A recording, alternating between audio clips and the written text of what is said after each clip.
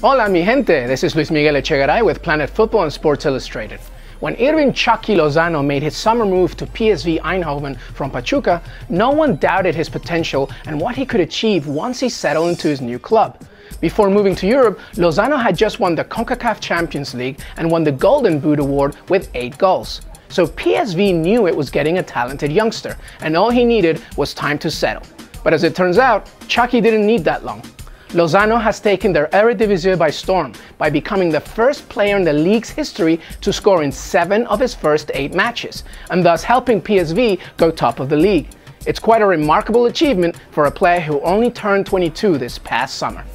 Chucky made his national team debut for Juan Carlos Osorio in February of 2016, and a month later he scored his first goal against Canada in a World Cup qualifier. He also scored the winner against Russia in the Confederations Cup this past June, helping El Tri reach the semifinals, added three goals in the CONCACAF hexagonal, helping Mexico coast to the World Cup.